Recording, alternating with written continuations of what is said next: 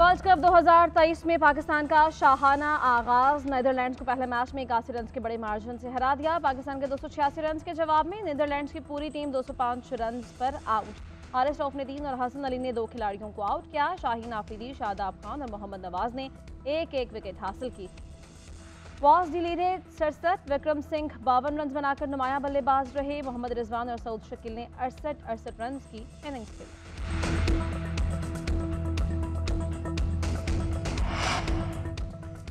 रहनुमा पीटीआई सदाकत अब्बासी इस्लामाबाद पहुँच गए। सदाकत अब्बासी की घर पर अपने अहल खाना से मुलाकात, वालदा और अहल खाना से मिलकर आप दीदा।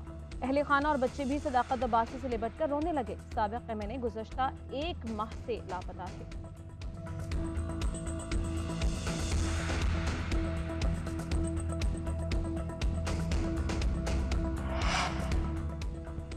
मीशत को नुकसान पहुँचाने वाले इकदाम के खिलाफ एक्शन जारी रहेगा। Army chief general Asim Munir का ऐलान। सिंध एपेक्स कमेटी अजलास खिताब में कहा कि सिक्योरिटी इदारे गैर कानूनी इकदाम के खिलाफ कार्रवाई जारी रखेंगे। आई एस पी आर के मुताबिक अजलास में नेशनल एक्शन प्लान कच्चे में ऑपरेशन और सिक्योरिटी सूरत हाल पर गौर किया गया।